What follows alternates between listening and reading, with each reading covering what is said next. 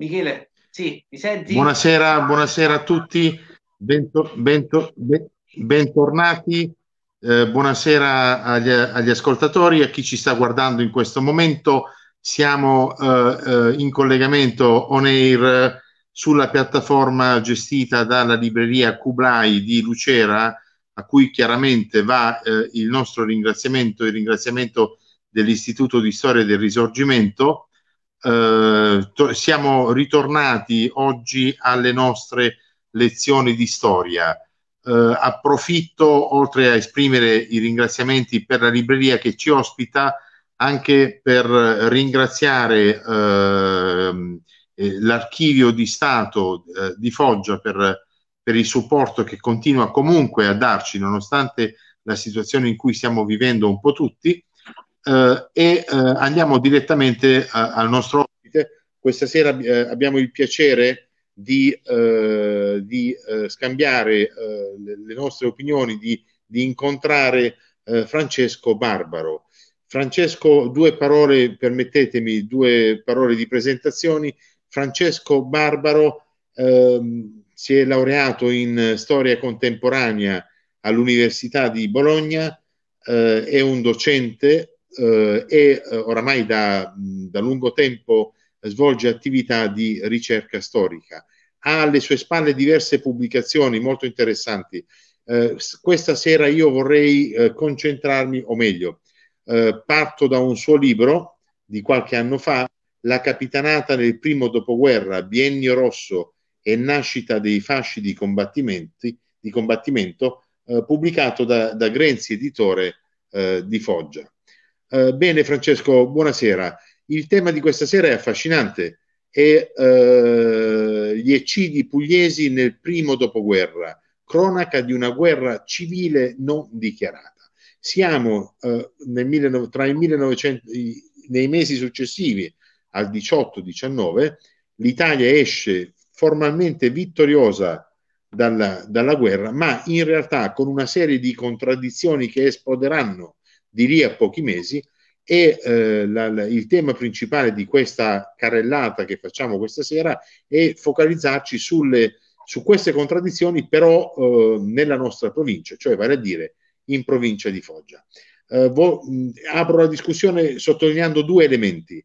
Il primo è eh, il, il, sottotitolo che, eh, che ha questa serata, cronaca di una guerra civile non dichiarata, nel senso che in effetti anche leggendo le cronache, le cronache di quei mesi, di quei giorni, eh, si ha l'idea quasi di una guerra civile. E il secondo elemento è quello di una percezione del tempo in, in, in quel contesto quasi di fine del mondo. Eh, ricordo soltanto che eh, sono i mesi anche della spagnola, della grande epidemia, quindi non era soltanto una crisi di natura economica o politica, c'era proprio una percezione sociale della crisi che era molto più radicale. E, e poi entreremo anche nel merito, però non rubo altro tempo e passo la parola direttamente a Francesco Barbaro. Oh, Michele, ti ringrazio per la bella presentazione. Sei, hai centrato perfettamente eh, la questione. Eh, L'Italia era uscita letteralmente stremata da un conflitto che aveva visto purtroppo ben 600.000 soldati cadere al fronte, altrettanti essere feriti e feriti in malo modo, feriti nel senso resi purtroppo invalidi da ferite terribili perché le macchine da guerra utilizzate nel primo conflitto mondiale erano macchine terribili, gas, bombe lanciate non solo da grandi cannoni ma anche da aerei mitragliatrici che falciavano i soldati che andavano all'assalto in maniera impietosa. Eh, fu una guerra terribile e ha detto bene, eh, la guerra fu vittoriosa, però eh, diciamo così, quella luna di miele tra eh, scoppiata, diciamo così, eh, il 4 novembre del 1918 con l'armistizio, con la liberazione di Trieste fu per l'Italia una luna di miele assolutamente breve, brevissima. L'Italia era rimasta colpita non solo dalla terribile sciagura eh, delle perdite al fronte, ma anche fatto benissimo a ricordare dalla febbre spagnola che in poco più di due mesi aveva fatto altri 600.000 morti.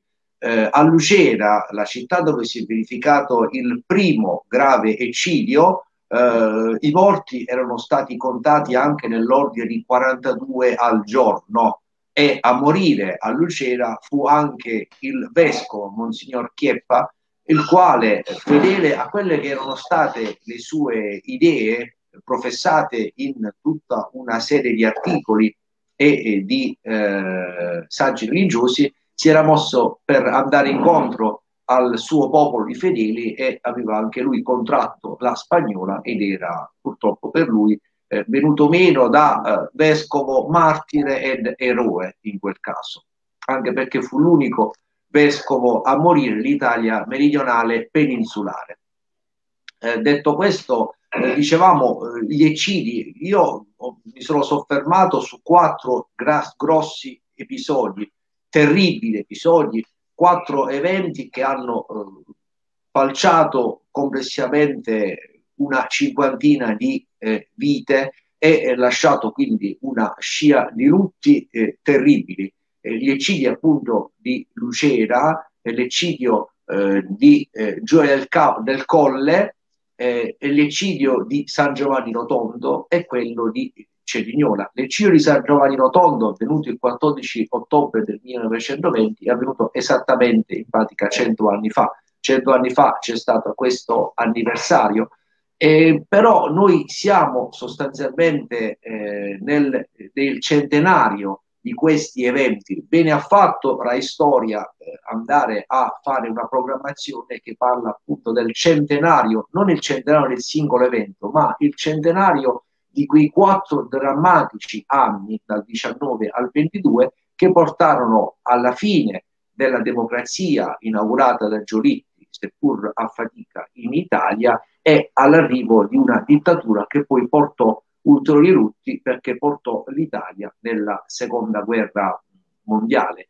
E diciamo per cui è un centenario di questo terribile quadriennio. Noi eh, ragionando in quest'ottica andiamo a ricordare oggi che è una giornata particolare, eh, quello che è il centenario di, una, di un terribile quadriennio che sconvolse la vita dell'Italia e diciamo così bloccò un percorso di crescita eh, della democrazia nell'ambito della monarchia costituzionale presente eh, in Italia e portò l'Italia appunto alla dittatura di Mussolini quindi alla perdita eh, della, delle, delle, libertà politiche, all'avvento di un, uh, un regime dittatoriale. Dicevamo uh, come in pratica siamo nel centenario, oggi è una data simbolica perché oggi è il 28 ottobre, il 28 ottobre del 1922, 98 anni fa, eh, con la marcia su Roma, Mussolini riuscì a strappare l'incarico di Presidente del Consiglio al re Vittorio Emanuele III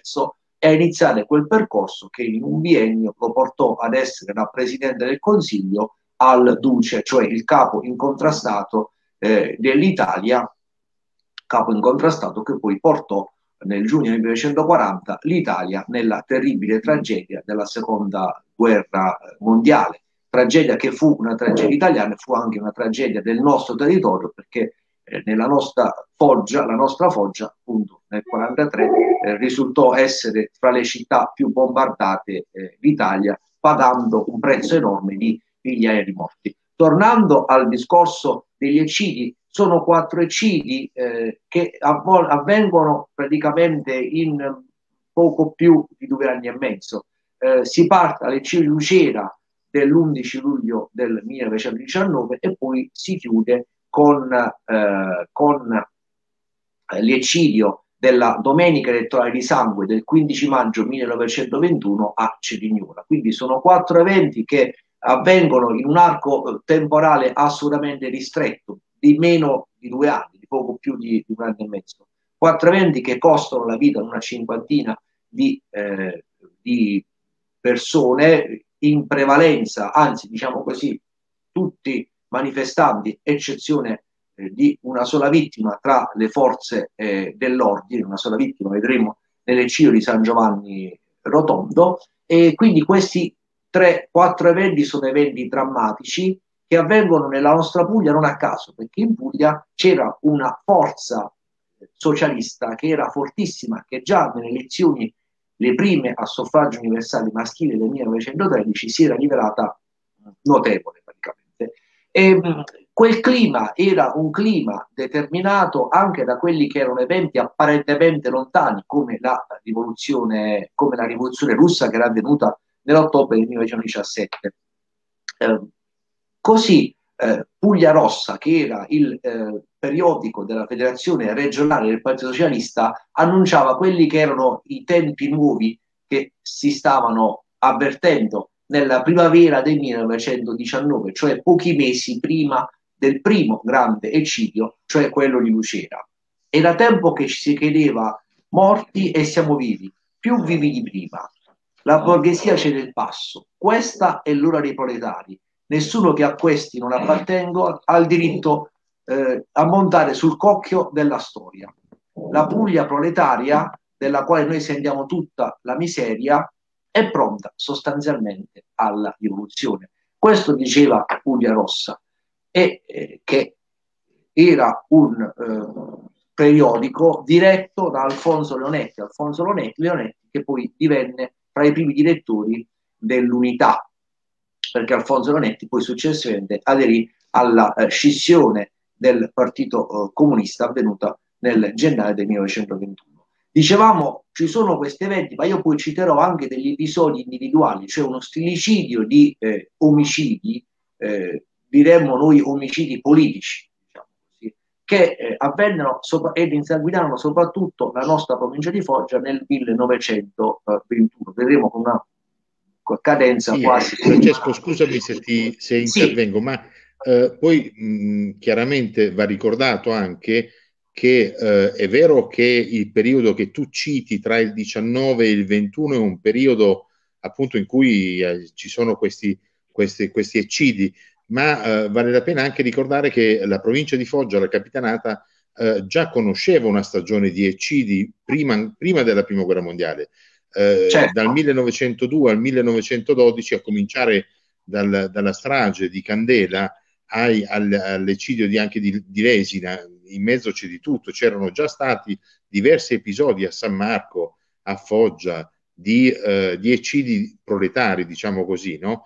eh, ad eccezione del, dello sciopero del 1905 a Foggia, gestito dai ferrovieri, eh, i, gli altri erano scioperi, diciamo così, mh, per comodità di linguaggio definiamoli scioperi contadini. Quindi la, la provincia era già caratterizzata da eventi di, un, di, di questo tipo. Certo, eh, nell'Italia giolittiana poi c'è da dire che in diverse parti dell'Italia, anche a nord, non solo a sud, erano eventi tutt'altro che rari. No, assolutamente, perché Giolitti, soprattutto a sud, con i braccianti usava il, il bastone duro da parte degli, degli, degli, dei militari in pratica. A Lucera arrivò anche il generale Cadorna a, per tenere brava, tra virgolette, la, eh, la, popolazione contadina in pratica, ma il generale Cadorna che poi diresse l'esercito italiano arrivò a Lucera credo nel 1911 in un'occasione di un grande sciopero previsto eh, in provincia di Foggia. Eh, e non solo, ma c'erano i mazzieri, cioè c'erano anche eh, so, diciamo, delinquenti pagati da eh, notabili liberali che andavano poi a intimidire gli avversari socialisti. C'è un fil rouge tra questi eventi.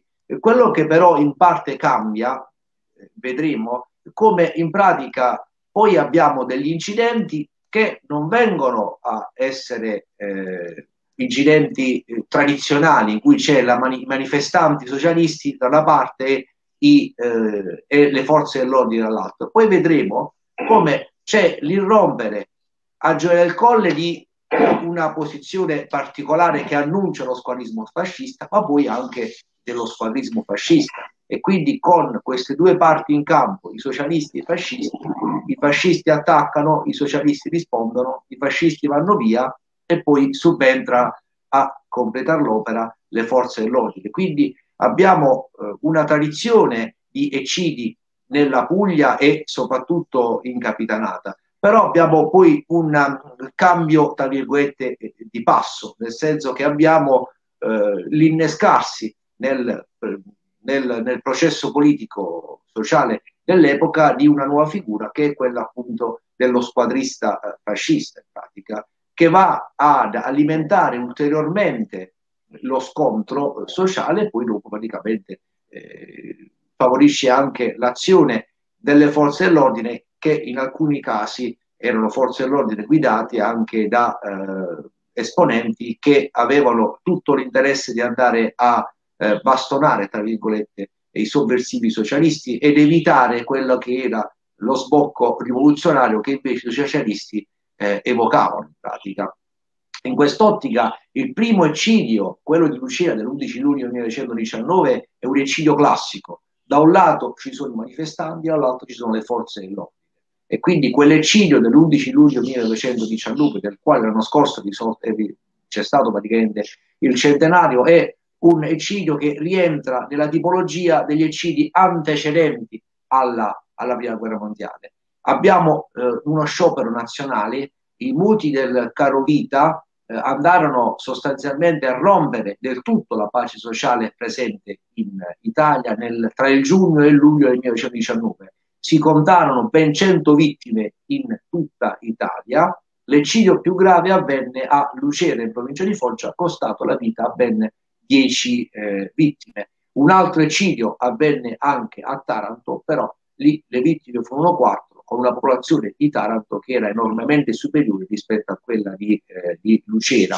Però, ripeto, in Puglia c'è una radicalizzazione degli scontri proprio perché c'era una struttura sociale con una forte contrapposizione tra braccianti e, eh, e chiamiamo così, padroni, diciamo così, proprietari terrieri, abbiamo la forte presenza sia del movimento sindacale che del Partito Socialista e quindi tutto questo determina uno scontro in Puglia sul, sul modello, tra virgolette, emiliano, romagnolo, proprio perché eh, la Puglia con le sue pianure aveva in pratica una presenza di grandi aziende eh, di latifondisti e dall'altra parte masse di eh, masse bracciantili. Dicevamo come il primo eccidio è quello di Lucina del, dell'11 luglio 1919, fu un eccidio particolare. Francesco, scusami se, se, interrompo nuovamente, ma sul quale l'unico testo che esiste è il tuo. Eh, se, correggimi se, se, dico se non sono corretto. Sì, non... diciamo lo studio monografico, sì, c'è uno studio monografico che ho fatto Lucina la strage dimenticata con le edizioni del Rosone e poi quella vicenda esatto. l'ho anche ripresa in alcune pagine nella vicenda più complessiva del, del, del, del movimento di prima delle vicende della, della capitanata durante il periodo Sì, quella è una vicenda particolare perché io ho trovato del, del, materiale presso l'archivio di Stato di Roma che mi ha consigliato di andare a definire una vicenda particolare perché ovviamente furono tre giorni di scioperi e perché praticamente eh, ci furono in pratica a quello che era una situazione eh, di lotta politica, poi si andarono a concentrare anche altre situazioni occasionali che poi determinano le condizioni per il terribile scontro del pomeriggio dell'11 luglio 1919. Ecco, quella vicenda era, è stata una vicenda terribile. No, e poi una vicenda magari soltanto perché a fine, eh, a fine incontro eh, eh, sì, la, lasceremo certo. un, un, breve spazio alla bibliografia e ti invito magari se puoi a mostrare anche oh, il libro sulla strage di certo. Lucera. Certo, Scusami certo, se ti interrompo. No, assolutamente, assolutamente. Dicevo, Lucera... Allora, dicevi, stato... questa è la, è la, la, prima strage, quella di Lucera. Sì, la, poi fu poi c'è strage... quella di Gioia del Colle.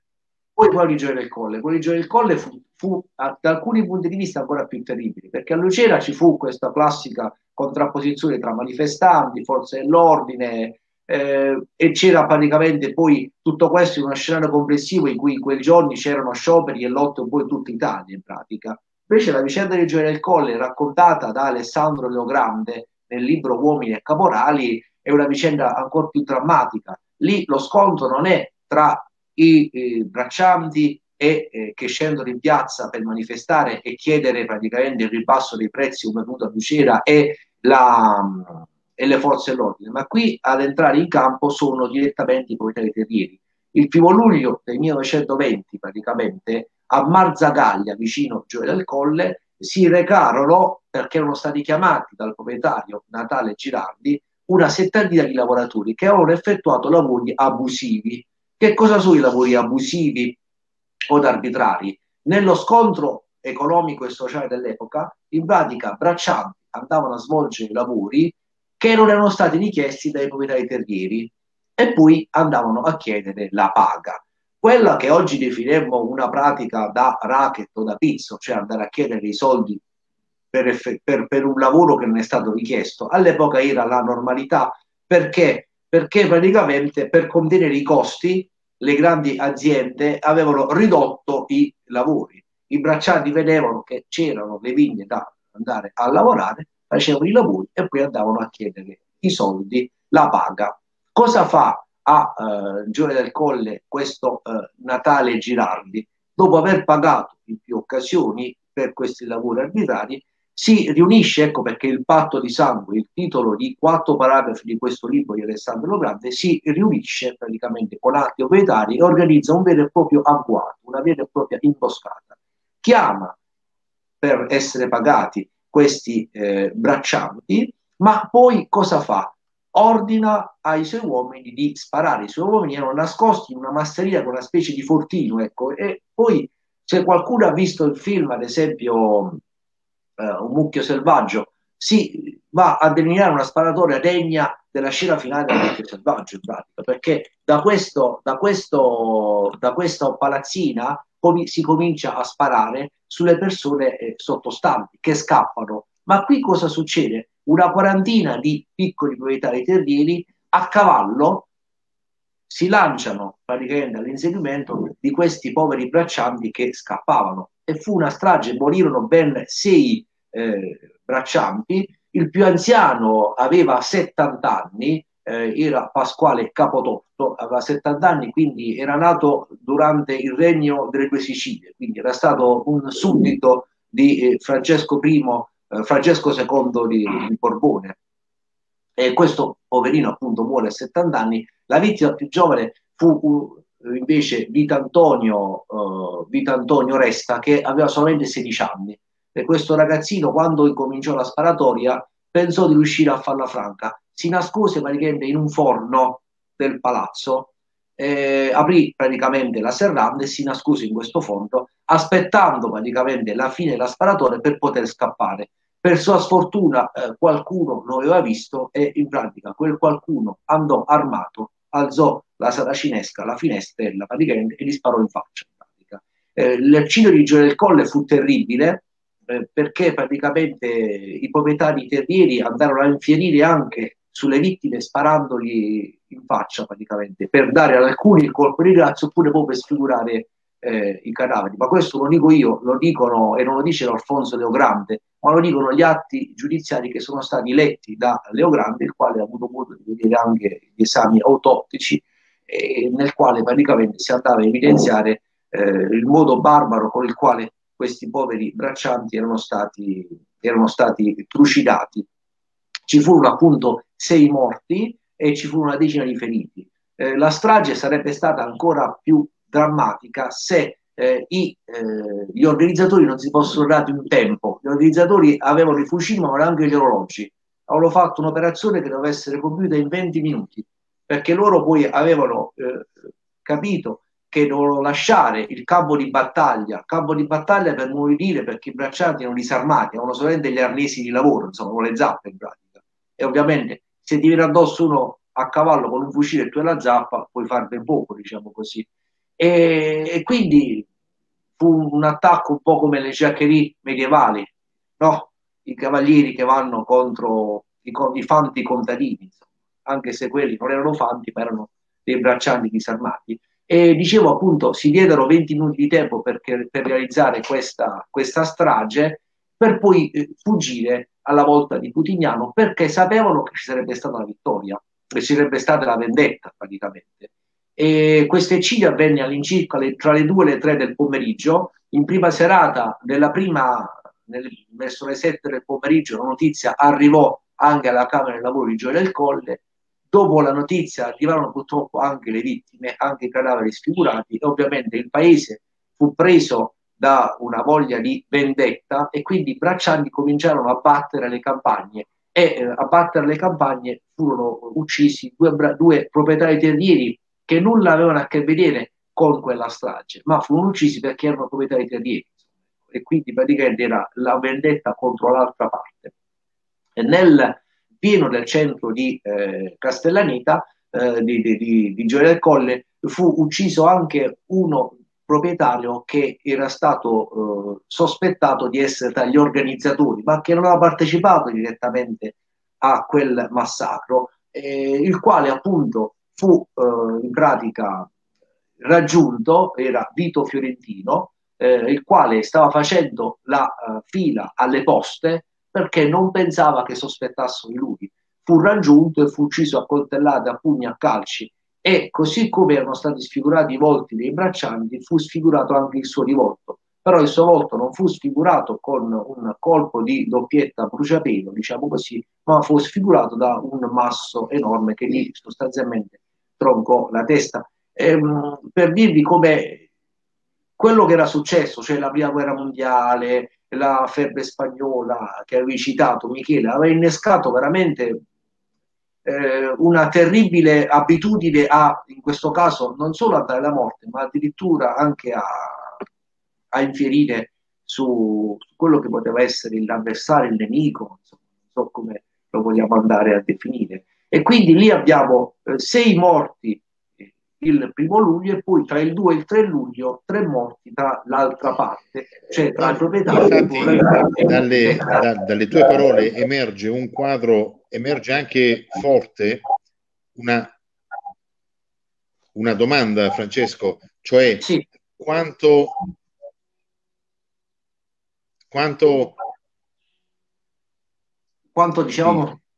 Al di là delle morti in sé, sì anche la modalità, cioè tanta violenza Terribile. si tanta spiega, violenza. proba- non, è una, non è una, come dire, eh, come fai a spiegare anche storicamente questo, questa, questa violenza estrema se non riferendoti ai, ai tre anni passati nelle trincee? Voglio dire, questa è gente che aveva alle spalle o l'esperienza diretta del conflitto molte volte, esatto, una, come dire, una socializzazione estrema della violenza che, che fino a un certo punto sta, è stata nelle trincee e poi è trasbordata in tutta la società italiana. Questo eh, è quello che, che, eh, accade eh, Michele, in quei mesi. No? Michele, nel, nel, negli assalti alla, alle, alle trincee austriaci, questo alle, per quanto riguarda eh, anche le eh, mazze ferrate, Poi no? c'è eh, quello che tu hai ricordato prima, i fatti di San Giovanni Rotondo. Eh sì, infatti primo luglio 1920 l'eccidio terribile che poi in realtà primo luglio e con eh, la, il sequel diciamo così delle vittime poi dopo un anno si ritrovano di fronte eh, perché furono processati assieme chi aveva ucciso i braccianti e chi sì, aveva ucciso noi ogni tanto noi i ci dimentichiamo di questo in due, in due, come si, in due praticamente erano separati dalle sbarre in pratica erano in due gabbie no? gli assassini del primo momento e del secondo momento. E poi appunto dopo pochi mesi abbiamo in pratica la strage avvenuta del cui c'è stato praticamente il centenario eh, due settimane fa, la strage avvenuta a San Giovanni Rotondo. Abbiamo le elezioni amministrative eh, in provincia di Foggia, in capitanata, c'era stato già nel 19 una grande vittoria dei socialisti che avevano eletto ben tre deputati, Leone Mucci, Domenico Maiolo e Michele Maitilasso, il quale Maitilasso dei fatti Lucera del 19 era stato arrestato ingiustamente, dopo essere stato arrestato ingiustamente, era stato rilasciato, eletto al Parlamento ed era stato poi anche avvocato difensore di coloro i quali erano andati a processo. Quindi in quella vicenda Michele Maichilassa aveva vissuto tutte, eh, tutte e tre le fasi, era stato organizzatore dello sciopero, arrestato e poi divenne anche, eh, divenne anche avvocato difensore degli imputati per quei fatti. Eh, dicevamo come in pratica eh, a San Giovanni Rotondo, a San Giovanni Rotondo in pratica c'erano le elezioni, eh, le elezioni erano in tutta la provincia di Foggia, si votava sia per la provincia, all'epoca non si votava in un'unica domenica, si votavano le quattro domeniche di tutto il mese di ottobre si sarebbe votato sia il consigliere provinciale del mandamento di San Giovanni sia l'amministrazione. L'amministrazione comunale a San Rotondo era caduta, era caduta perché il comune era stato letteralmente assediato e spugnato da combattenti eh, pochi mesi prima in pratica. Eh, a contendersi erano una lista di popolari e, eh, e combattenti che è la lista dei socialisti. Eh, in pratica a vincere per solamente 200 voti furono eh, i socialisti, ma questa vittoria praticamente non era stata, tra virgolette, accettata dagli avversari, i quali avevano accusato di brogli elettorali socialisti. E questa pagina è una pagina particolare perché a San Giovanni Rotondo era eh, già operante Padre Pio. Così accolse eh, Spartaco, che era il settimanale della Federazione Provinciale Socialista di Capitanata, il risultato elettorale di, di, eh, di San Giovanni. A San Giovanni Rotondo, dove Padre Pio fa il bello e il cattivo tempo, i popolari sono stati battuti nonostante la violenza e la corruzione che gli indegni ed immorali discepoli di Cristo hanno commesso a danno nostro con l'aiuto dell'arma dei reggi carabinieri e delle autorità locali. La violenza usata contro l'automobile e andava praticamente a eh, citare un episodio, cioè un primo episodio di violenza nella domenica del 3 ottobre contro la macchina dello, dell'onorevole, Michele, dell'onorevole Leone Mucci che si era recato a San Giovanni Tonto per dare manforto, manforte ai socialisti. Quindi il clima di tensione era grande, i socialisti vogliono portare in pratica la bandiera rossa sul eh, municipio di San Giovanni Tonto, i combattenti popolari organizzano una contromanifestazione, in pratica abbiamo dinanzi al municipio le due masse, la massa dei socialisti che vorrebbero festeggiare la loro vittoria, la massa di chi contestava quella vittoria e poi abbiamo praticamente chi abbiamo eh, le forze dell'ordine, e soldati e carabinieri. In circostanze sì, non... Eh, eh, a proposito di quello, bombe, eh, dimmi, dimmi. A proposito di quello eh, che tu dell'episodio che stai citando, sì. io vorrei ricordare anche ehm, un lavoro uscito qualche anno fa di uno storico italiano che è Sergio Luzzato, che ha scritto un libro su Padre Pio, una, diciamo una lettura storiografica un po' diversa dell'esperienza, uh, dell'esperienza uh, tra virgolette, politica di Padre Pio, in cui si sostiene che Padre Pio avesse in qualche modo benedetto i, i, nazionalisti, che i nazionalisti, i conservatori, eccetera, i, i reduci, la sezione dei reduci di San Giovanni, è che eh, a San Giovanni Rotondo, questa forse è una peculiarità del, eh, di San Giovanni rispetto ad altri contesti italiani, addirittura erano apparsi eh, gli arditi di Cristo. Oh, questo tema è storicamente dibattuto e discusso, però vero anche che la cosa su cui si può eh, concordare è che, eh, cito testualmente il testo, eh, la, la presenza di Padre Pio è stato un elemento di radicalizzazione dello scontro politico eh, locale che era in atto in quel momento. Eh, infatti poi neppure a fare apposta lo scontro non è eh, tra liberali e socialisti, ma tra una lista del Partito Popolare, fondato dal don, da, da don Giovanni Sturzo eh, l'anno precedente in pratica. Abbiamo il candidato del Partito Popolare, Leandro Giuva, che era stato con i popolari, poi passa ai combattenti e poi nel 23 diventa fascista, il quale addirittura questo candidato alla provincia che fu sconfitto per 200 voti dal candidato socialista di Maggio, nel 23 rivendicò, fece una sorta di rivendicazione politica, ecco, volendo usare un linguaggio da anni di piombo, anni 70, eh, perché sul foglietto in un intervistato disse noi siamo stati i primi a dare una lezione fascista ai socialisti a San Giovanni Rotondo nell'ottobre del 1920. Ecco perché quell'eccidio eh, fu rivendicato politicamente da chi in quella piazza era andato per contestare e probabilmente la bomba a mano che innescò poi la sparatoria che costò la vita a ben 13 manifestanti e ad un carabiniere,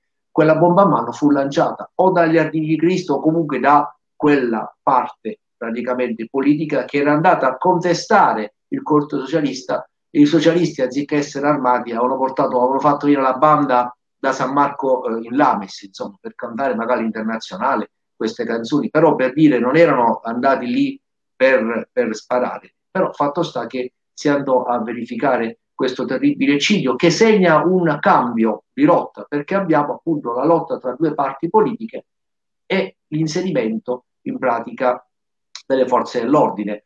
Ovviamente anche nelle ciliegie del Colle abbiamo questa situazione praticamente dei proprietari terrieri che praticamente dicono voi siete molti quindi ci imponete di pagarvi il lavoro arbitrario perché siete in molti, noi ci abbiamo. E comunque c'è il problema anche delle notizie che arrivano dalla Russia, anche perché, ripeto, il giornale, i giornali Puglia Rossa ma anche Spartaco eh, parlavano praticamente di fare in Puglia eh, in Italia ciò che era stato fatto in Russia, insomma, ecco, e che la famiglia Romanov in Russia fosse stata, diciamo così, uccisa nel 18, se avuto asseverando in Italia non solo, ecco, per dire. Quindi c'era un discorso che voi parlate di farci violenza e allora noi usiamo violenza contro di voi, ecco, andiamo con la famosa teoria della controevoluzione preventiva fascista eh, dei vecchi testi di, di Angelo Tasca, ma sostanzialmente Senti, è quello che parte dell'eccesso in Puglia. Quello, quello, che tu stai dicendo mi, mi, mi spinge anche a un'altra considerazione, eh, quello di relazionare i fatti di San Giovanni eh, Rotondo con quanto accade a Bologna di lì a poco, i fatti Perfetto. di Palazzo da Cursio. Ma successe la stessa cosa, a San Rotondo ci furono 14 morti, fu arrestato, furono arrestati il consigliere provinciale di Maggio, il sindaco Tamburrano, furono arrestati in massa, ma il tribunale di Lucera non rinviò a giudizio questi arrestati perché dalle testimonianze si eh, evinse che cosa? Che Di Maggio e Tamburrano, cioè il sindaco di San Giovanni Rotondo Tamburrano, il consigliere provinciale di San Giovanni Rotondo, dal balcone erano apparsi ma per invitare i socialisti a non accettare provocazioni, per invitare alla pace, diciamo così. Stessa cosa successe anche per Machilasso, anche Machilasso fu arrestato, però poi non fu neppure rinviato a giudizio eh, perché si evinse dalle testimonianze che aveva fatto un ruolo di paciere, diciamo così, quindi aveva tentato di evitare il conflitto, non aveva portato al conflitto. Quindi anche queste forze dell'ordine che arrestano Michele Metilasso a Lucia del 19, che arrestano Tamburrano eh, nel 20 a San Rotondo e che poi arresteranno anche eh, Giuseppe Di Vittorio. Giuseppe Di Vittorio viene arrestato per i fatti di, eh, di, di Cerignola del febbraio del 1921, ma viene accu- arrestato per la complicità corrispettiva. Perché cosa succede? I fascisti a Cerignola cominciano a provocare, alcuni braccianti più esagerati, iscritti alla Lega Contadina, fanno anche delle campagne di Cerignola quello che era successo a Gioia del Colle, cioè cominciano a sparare ai, ai, ai calessi dove c'erano praticamente i proprietari, purtroppo ci scappa anche un morto il figlio di, eh, di un proprietario teatrino di Vincenzo Specchio praticamente e, e, praticamente cosa succede? Succede che Di Vittorio viene arrestato per complicità corrispettiva, cioè si dice abbiamo arrestato uno dei tuoi e tu sei colpevole, insomma ovviamente aveva 12.000 iscritti, figurarsi, era un'accusa che non stava nel giro interno, però servì a portare eh, Di Vittorio nel carcere di Lucera. Di Vittorio quando fu eletto il 15 maggio del 1900 eh, 21 eh, fu eletto senza fare comizi praticamente, eh, perché era ristretto nel nostro, tra virgolette, mi permetto di dire, carci di Lucera, che è distante in linea d'aria poco più di 800 metri dalla, dalla libreria che ci ospita in pratica. E dicevamo, come c'è anche questo discorso di andare a sfruttare eh, questi eventi per poi andare a decapitare quelle che erano le organizzazioni eh, socialiste, fatte da una polizia che oramai sapeva che il nemico erano in pratica i socialisti, perché erano quelli che dicevano di voler fare la rivoluzione. Poi il problema, tu me lo potresti insegnare, come i massimalisti eh, in Puglia e non solo parlarono di rivoluzione, però poi non realizzarono nulla. Insomma. Un conto è parlare, un conto poi è colpire. Insomma. Eh, I massimalisti parlarono, ma poi non furono in grado di realizzare sì. una, uh, una, una rivoluzione, però andarono a creare eh, quel clima di paura che poi andò praticamente anche a eh, originare anche quel clima di, diciamo, di violenza. In alcuni casi fu anche violenza. Insomma, io devo dire, ho trovato, ecco, ad esempio, a San Severo, in pratica, eh, abbiamo avuto la, un, sempre nel luglio del 1920, Oreste Danzi, un avvocato, mandato all'ospedale in fin di vita perché il fratello non aveva voluto pagare, diciamo così, i lavori arbitrari e, e quindi appostano i due fratelli e, e, e, viene ferito pure quello, tra virgolette, che non c'entrava nulla, insomma, ecco, si passi questo termine magari fosse un po' gretto. nel senso che anche dall'altra parte, da parte dei socialisti, c'era una ebbrezza rivoluzionaria che portava alcuni a fare gesti che erano sconsiderati, quale quello di andare ad usare le armi. Uno dei primi omicidi politici che segnano la svolta avvenne a Ascoli Satrano nel febbraio del 1920 e venne assassinato il capolega, tale Giuseppe Anguilano, fu assassinato alle 11 di sera ad Ascoli Satrano perché si scontrò contro i sì, due fratelli rispetto, i quali sì, ris, rispetto a San, a San, Giovanni Rotondo per esempio? Sì, San Giovanni Rotondo sì, tornando a San Giovanni Rotondo che tu, per esempio parlando dimmi, dimmi.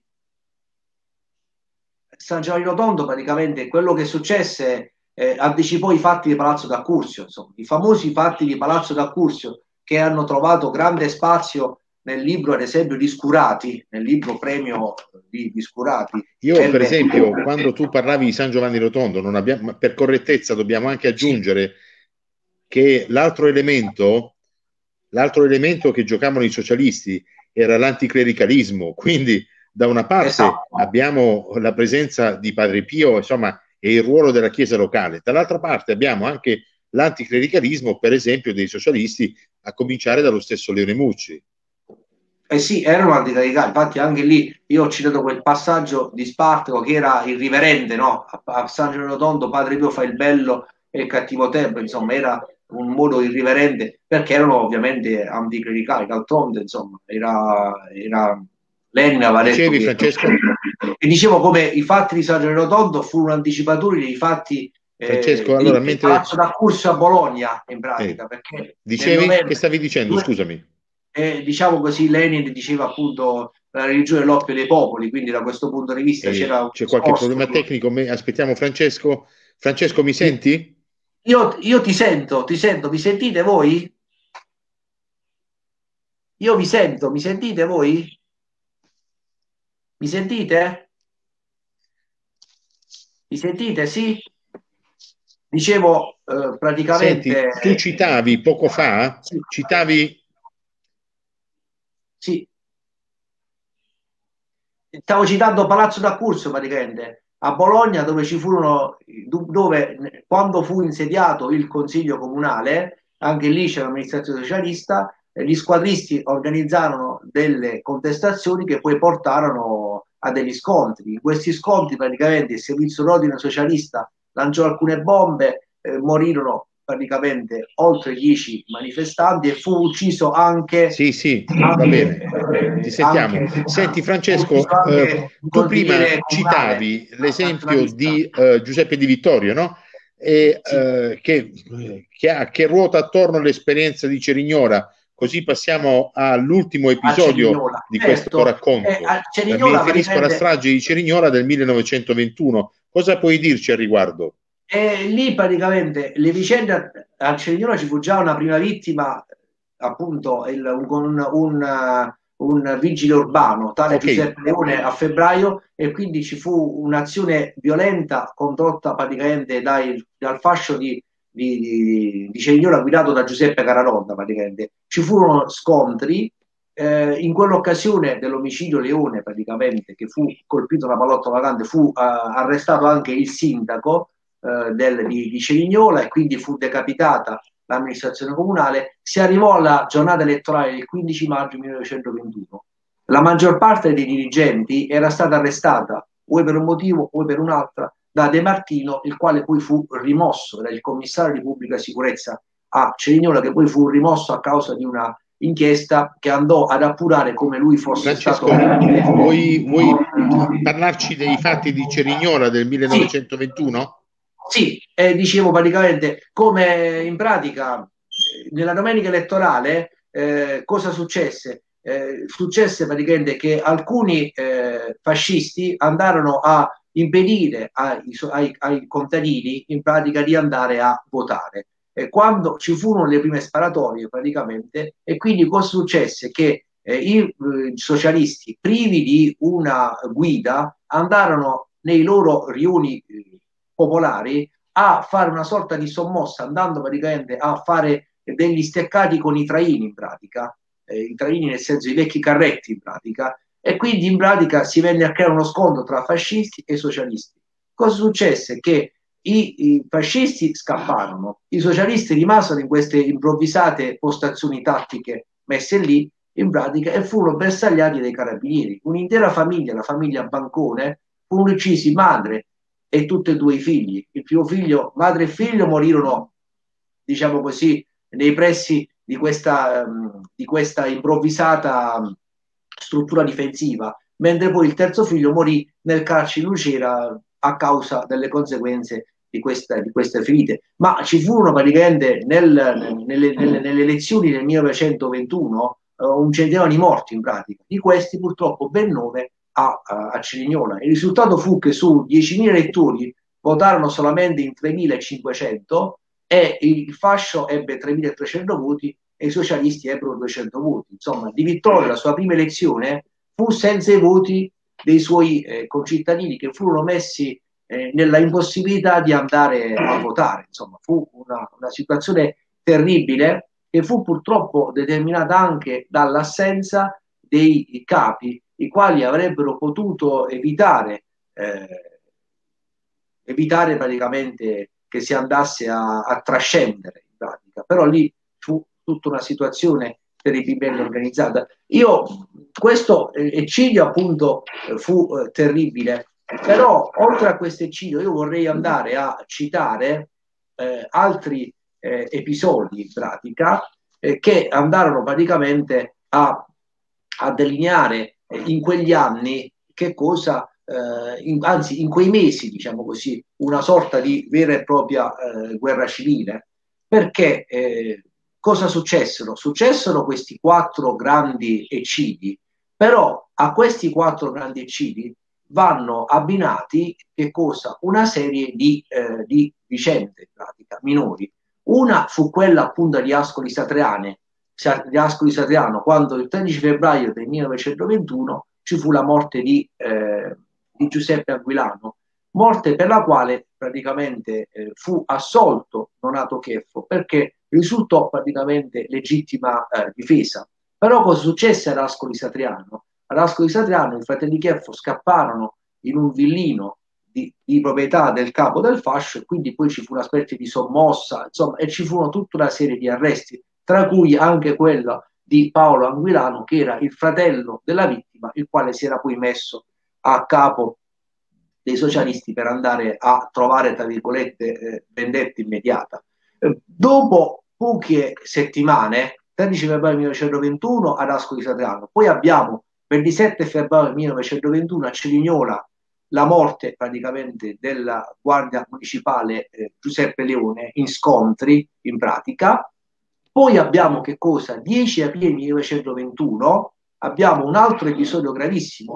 Praticamente i comunisti di Capitanata organizzano il loro congresso provinciale con eh, Luigi Allegato, praticamente giovanissimo. Va a San Severo anche il segretario nazionale del Partito Comunista d'Italia, Amelio Bordica, ma viene organizzata una spedizione punitiva da Cirignola. Eh, ma eh, i militanti comunisti e socialisti di San Severo rispondono al fuoco e praticamente muore Raffaele da Serpe che era uno squadrista cerignolano in pratica.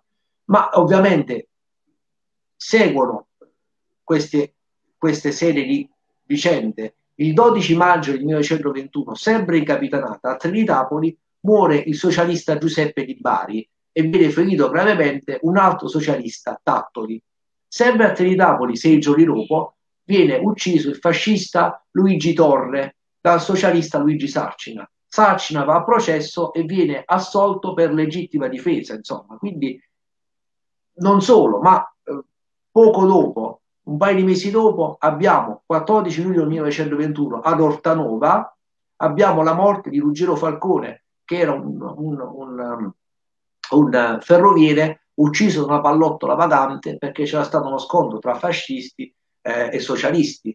Pochi giorni dopo, 14 luglio 1921, pochi giorni dopo, 18 luglio 1921, da capo si torna a morire a San Severo. A morire è un socialista Michele del Vicario, eh, il quale ferito si rifugia in un basso. Purtroppo eh, gli squadristi intuiscono dov'è eh, entrano in questo basso, si accorgono che si era nascosto sotto un letto e sparano praticamente a quel letto e lo crivelano i colpi e, e lo, lo, portano alla morte. Ma l'omicidio del vicario, che fu un omicidio assolutamente eh, efferato, mh, venne dopo eh, alcuni giorni di scontri avvenuti a San Severo, nel quale c'erano stati feriti e arresti da ambo le parti. E l'omicidio del vicario portò eh, i socialisti anche ad invocare una sorta di pacificazione. Ehm, così scrisse Spartaco a proposito dell'omicidio del vicario. Noi non vogliamo attardarci a descrivere minutamente gli incidenti dei giorni scorsi, né vogliamo ripeterci del modo come fu ucciso il popolo del vicario, ma eh, vogliamo che se le autorità muteranno e se gli uomini di buona volontà non resteranno ancora a subire il dominio della violenza, torni la civiltà a fiorire. Quindi c'era da parte dei socialisti che mentre nella vicenda di Ascoli Satriano avevano detto dobbiamo farci giustizia eh, da noi, dopo alcuni mesi cambiano totalmente in pratica il registro e cominciano a dire torni a fiorire la civiltà da in capitanata, poniamo fine a questa serie di, eh, di vittime, ma in realtà un mese dopo, questa volta da capo sul Gargano a San Marco in Lamis, abbiamo un'altra vittima, perché il capo del fascio locale, eh, Michele Mimmo, uccide eh, un socialista, Michele Russo, e ne ferisce gravemente un altro a pistolettato. Lui stesso viene riferito da alcune coltellate in modo non molto, eh, non molto grave. Eh, queste, se, questa serie di uccisioni proseguì eh, nel sottotitolo ed ebbe purtroppo come ultimo momento, diciamo così, nel 1924 da capo sul Gargano. Nel 24 abbiamo avuto praticamente il fascismo è andato già al potere, però cosa abbiamo? Abbiamo le elezioni, quelle che dovevano, tra virgolette, dare il potere a Mussolini, e in quelle elezioni i repubblicani hanno un candidato locale a Vico del Gargano, Michele Lanzetta, il quale vorrebbe a pochi giorni dal voto organizzare un comizio.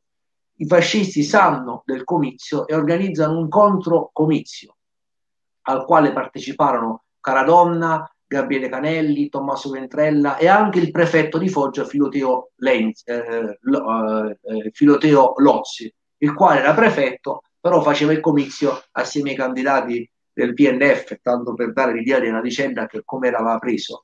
E, nonostante questo comizio vogliono utilizzare il comizio praticamente i repubblicani, incominciano a sparare praticamente i fascisti e a morire muore un povero ragazzino di, eh, di, di 10 anni, Pasquale D'Apolito, il 3 aprile del 1924, che fu l'ultima vittima terribilmente simbolica di questa terribile scia di sangue che andò a, a colpire eh, la, no- la, Puglia e nello specifico la nostra provincia di Foggia. Una vittima tanto più brutta quella vicenda perché a morire fu un innocente, cioè un ragazzino di 10 anni che si trovò a passare eh, in strada e si trovò colpito da una pallottola vagante.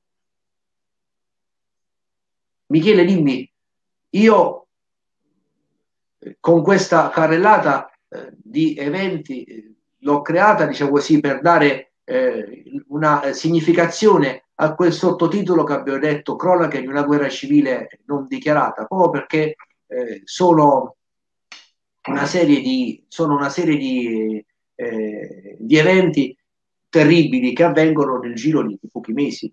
Ovviamente non posso parlare degli eventi del 22, altrimenti poi andiamo a sfondare a sfondare i tempi, però nel 22 a San Nicandro Garganico arrivò anche uno dei maggiori esponenti dello squadrismo nazionale, Dino Perroni, eh, Perrone Camp- Francesco, eh, chiaramente sì. ti ringrazio. Uh, io sì. temo che ci siano dei ritardi nell'audio, spero sì. soltanto che chi ci ascolta uh, sono arrivate alcune domande, Michele ad sì. esempio sul, sull'omicidio del vicario, quindi penso che più o meno si sia riusciti a sentire, diciamo così. C'è allora io Luciano... mentre ci arrivano già delle domande, Francesco, volevo sì. semplicemente allora c'è ti dico ti, ti lancio due o tre input nel senso Dimmi. Dimmi Michele, ti ascolto, sì.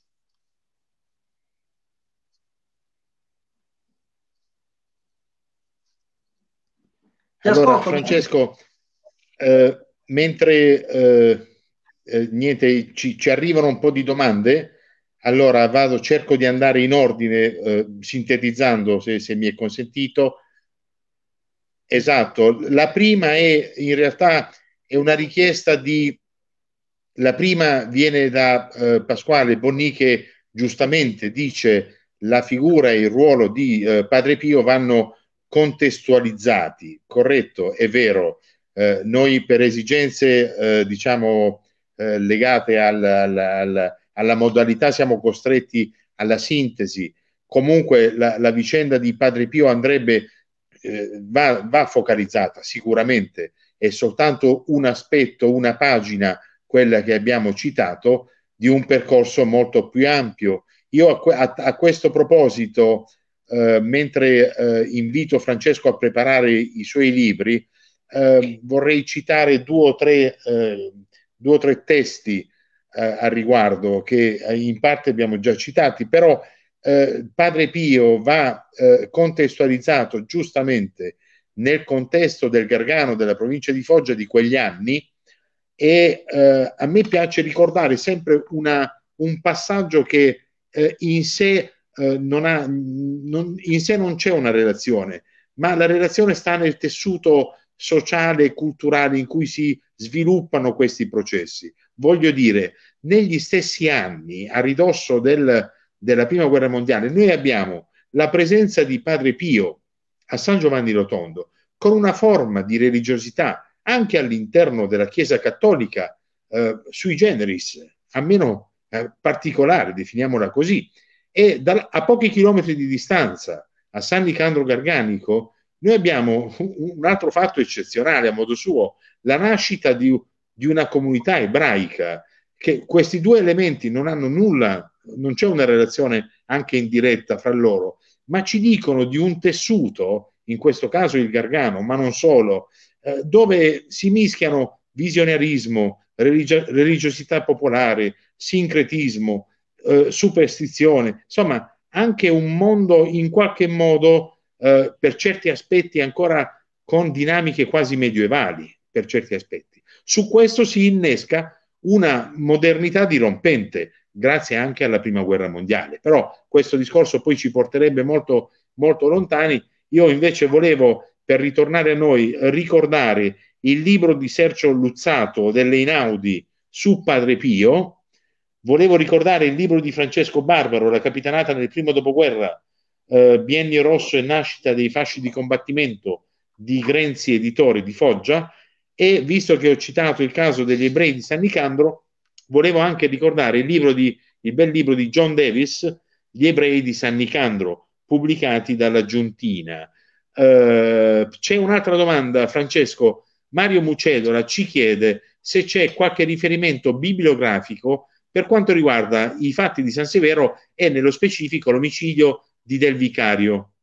Ma io l'omicidio del Vicario è stato trattato in diversi libri, ne ha parlato sia la Colarizzi nel libro sul primo dopoguerra in Puglia, un libro che aveva la, uh, la uh, prefazione di Renzo De Felice. Eh, questa vicenda è stata affrontata anche da uh, un libro di Michele Magno, Galantuomini e Proletari in Puglia. Eh, poi io ne ho parlato di questa terribile vicenda avendo appunti sia appunti eh, presi sia da rapporti dei prefetti eh, delle, del prefetto dell'epoca praticamente che informò della faccenda anche il ministro degli interni e, poi ho preso appunti anche da Spartaco dal foglietto praticamente e, ne, ho, ho, ne, ho, parlato di questa terribile vicenda sia in un saggio che ho pubblicato con eh, praticamente il centro studi di eh, Capitanata, eh, praticamente col centro di ricerca e documentazione di San Severo, eh, diretto egregiamente eh, dal,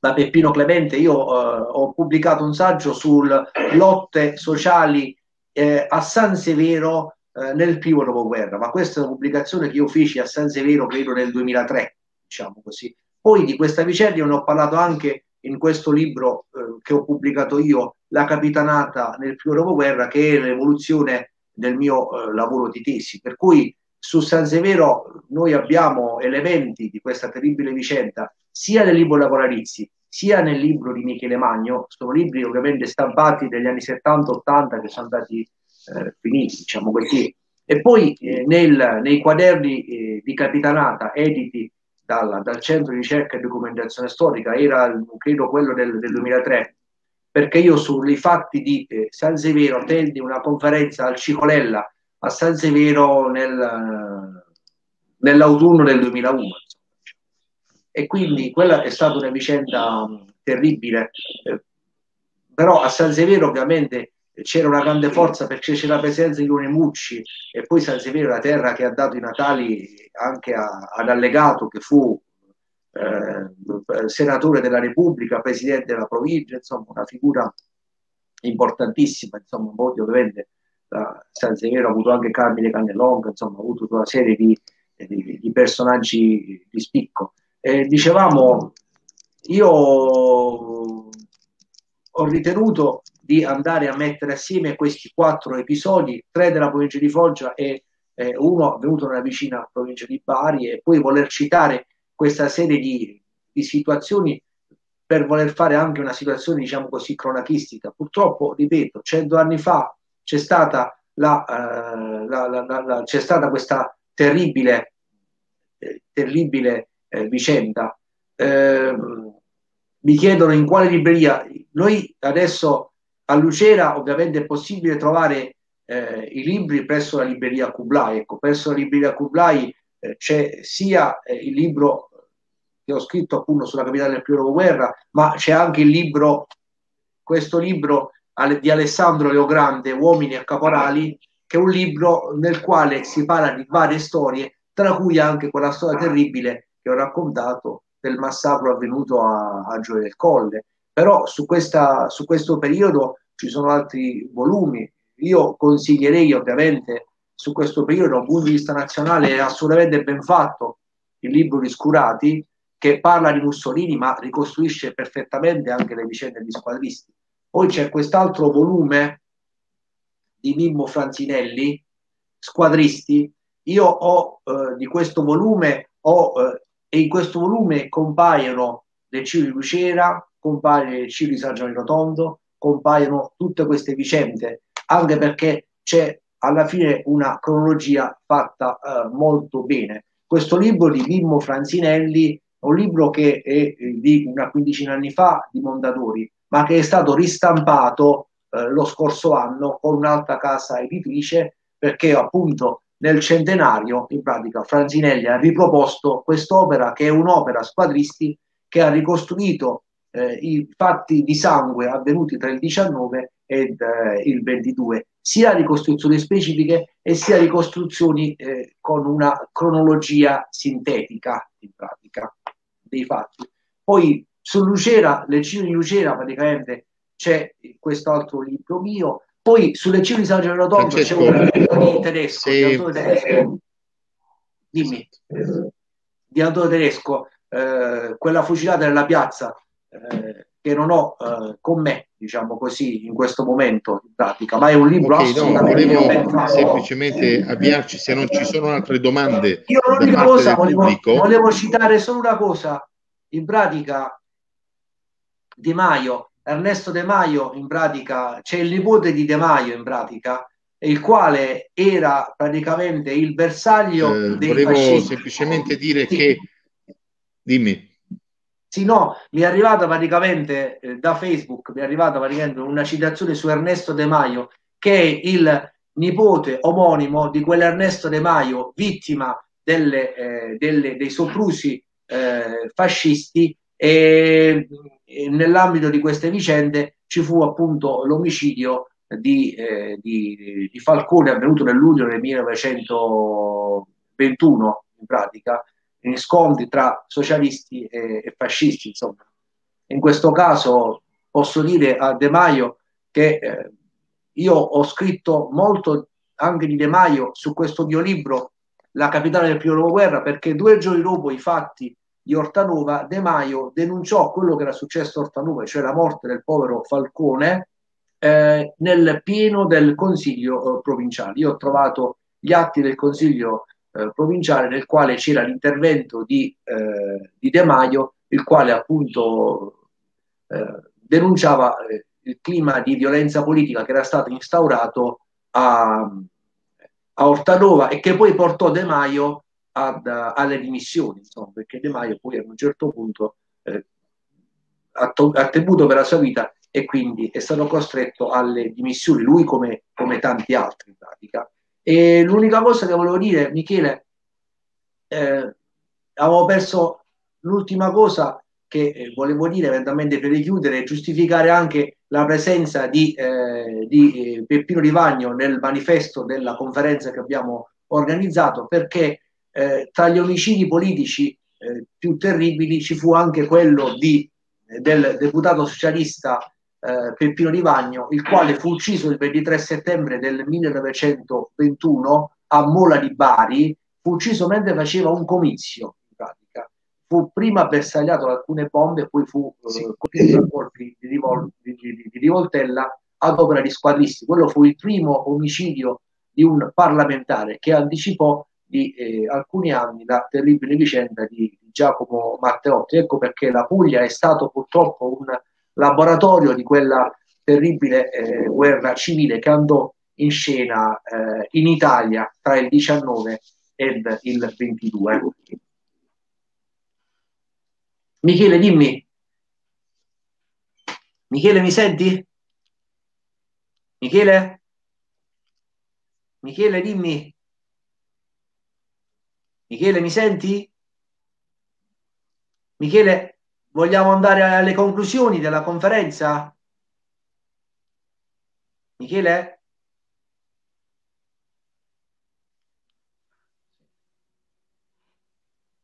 Ah, chiudo io. Allora, eh, temo che ci siano dei problemi tecnici che non consentono a Michele di, eh, di poter fare le conclusioni. Michele, ci siamo? Ovviamente, per dirla con le parole di un decano della televisione eh, italiana, diciamo Tra così. L'altro, tu citi Di Magno, ma sì. è giusto anche ricordare che la seconda rielezione a, a Montecitorio da parte di Leone Mucci è collegata all'omicidio di Vagno.